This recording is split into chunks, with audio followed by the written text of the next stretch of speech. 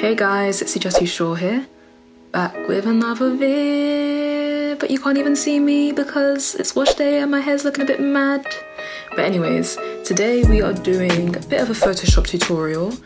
I recently did a shoot with an artist called Thelonious Rager. This is basically for his single Indoda, and it was all about a tether character that was basically his guardian angel and we represented her in these images and she was wearing wings and the whole concept was very beautiful and it was styled by my friend Efe.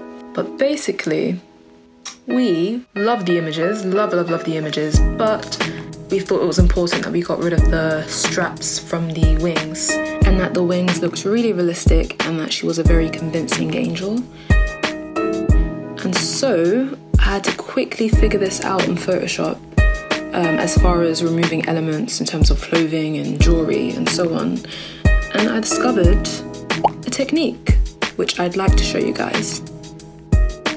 So first things first, I'm going to duplicate my image and then I'm going to click onto the healing brush tool, which is what we'll be using today. And how it works is you basically sample an area that you'd like to more or less copy and then you more or less paste it onto the area you're trying to cover. And to do this, you click Alt, Alt, Alt, whatever, ALT, and you click the area you're trying to copy, and then you can just like brush onto the place you're trying to replace. To begin with, I'm basically using the replace option, the replace mode, because I'm directly replacing one thing with another. So yeah, you're Alt clicking, Alt clicking, Alt clicking, replacing, replacing. And I'm also getting rid of this shadow that we have here because if I was to try and complete it and have it go all the way up her back, it would probably be very zigzaggy and shaky because I do not have a steady hand at all. So we're gonna cover that up real quick. So I know what you're probably thinking. What in the patchy hell is this? What is going on here? She can't even blend properly? Like, no. It's all good. I'm about to go onto the normal mode because this is going to help me blend the textures and the colours seamlessly. Well, I hope so. So once again, we're Alt clicking, we're finding a reference colour and texture, and we're replacing an element that doesn't quite fit. And you want to sample from a place that isn't too far from what you're trying to change, just so it's more seamless and it's a kind of gradual, smooth finish. I don't know if it's just me, but I love, love, love looking at the before and after. Like sometimes almost immediately after making a little change. It's kind of weird.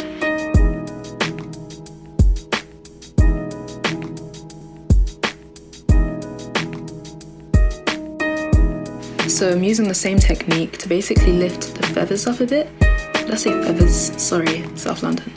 Feathers up a bit to um, just make sure it's more seamless and as though she always had feathers in that area. Feathers. So this area right here, hmm, it gave me trouble. Let me tell you that. Basically, when you're working with the healing brush and you're trying to replace edges, sometimes it can be easy to have a result where it looks like it's, it's been drawn on basically. So I had to keep on blending the sky, her shoulders, and trying to create like a realistic line that wasn't too forced and also that wasn't too soft.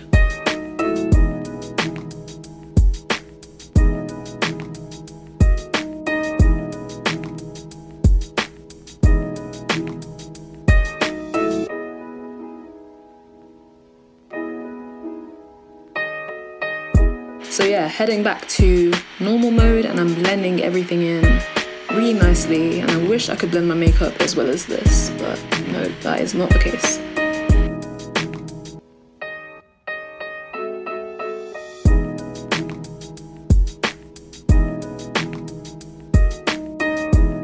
I forgot to mention actually, so you can actually change the size of your brush if you feel like you're being very messy and it's not quite working out and you want to be more accurate.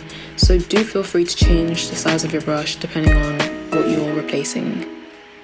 So I'm moving on to the other side now and I am gonna begin with the replace mode and Alt clicking until I get rid of the majority of the strap. And then I'm to go in with the normal mode and blend everything in nicely.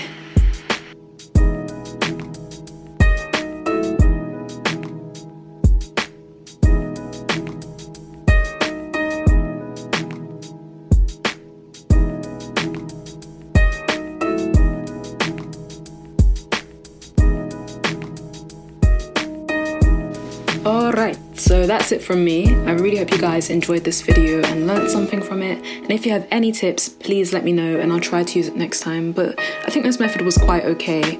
Probably is already a thing that people do, but I don't know. I just kind of discovered it as I was messing around and trying to figure out what to do. But yeah, thank you so much for watching. I'll see you guys next week. And in the meantime, make sure you like, comment, and subscribe. And make sure you follow me on Instagram as well for some more of my work. Cool. Peace.